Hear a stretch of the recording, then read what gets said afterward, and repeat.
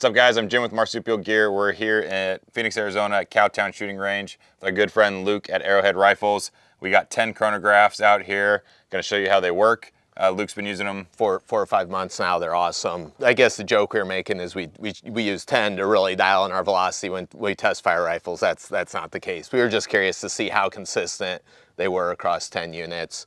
Uh, we've we've seen great performance out of one unit, so let's uh, find out how 10 do. Yep, they're super easy to use. We're going to show you how they work, the interface on them, how to set them up, and shoot some rounds downrange. Yep. All right, before we get to shooting, we're going to run through the setup quick. Super easy. Hit the power button. Uh, new session. You know, rifle, pistol, bowl, air rifle. We're shooting rifles today. Select your velocity range. I'd asked if you want to put in your bullet weight to get an energy. We, we are not worried about that today, so we'll skip it. And then it shows a diagram uh, where to position it, 5 to 15 inches from the side, and then uh, 5 to 15 inches from the muzzle, below the muzzle center line. Hit OK and point it downrange, and we're ready to shoot. Uh, I don't like entering the bullet weight and seeing the diagram every time because I use this frequently. So we'll, we'll back out of this, end the session, run into settings, then under pro settings, you can turn that off. So we'll turn that off, that off. Uh, the other thing in settings is the connectivity to where you compare it to your phone using the Garmin ShotView app.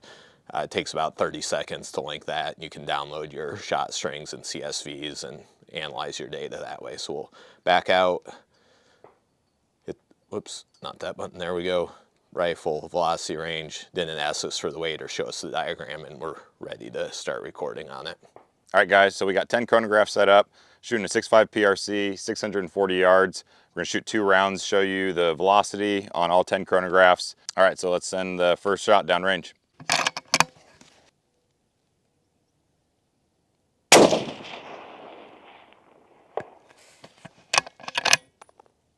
All right, so first shot, all chronographs read it. Um, if we go through the velocities, the first one's 29.12, second one 29.13.5, 13, 13.1, 14.4. We got 13.4, 11.9, 12.9, 14.3, and 14.5. So they're all within about one and a half uh, feet per second. Shows the first shot. So let's shoot a second shot and show you the velocity of the second shot.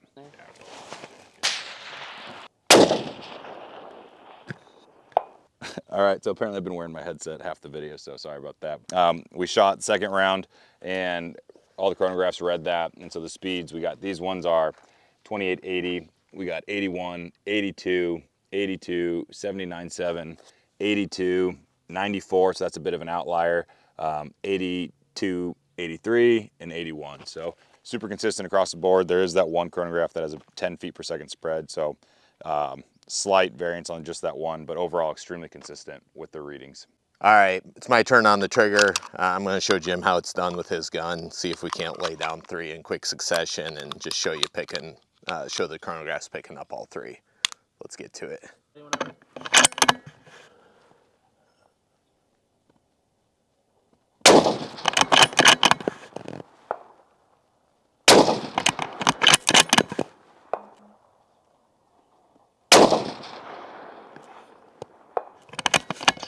All right, so laid down three. I'm just gonna look at the averages here. 2907 average, uh, 2907, 07, 07, 06, 07.